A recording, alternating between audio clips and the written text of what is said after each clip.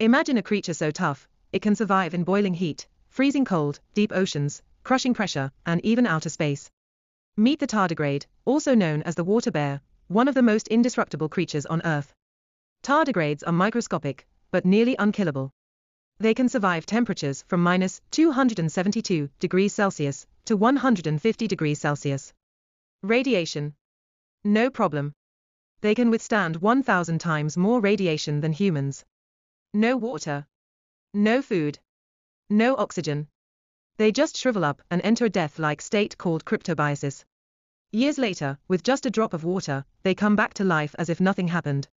NASA even sent tardigrades to space in 2007, exposed them to deadly cosmic radiation, and guess what? They survived. Tardigrades prove that size doesn't matter when it comes to survival. Would you want to have their superpowers? Tell me in the comments. And if you love mind-blowing science facts, don't forget to like, share, and subscribe for more.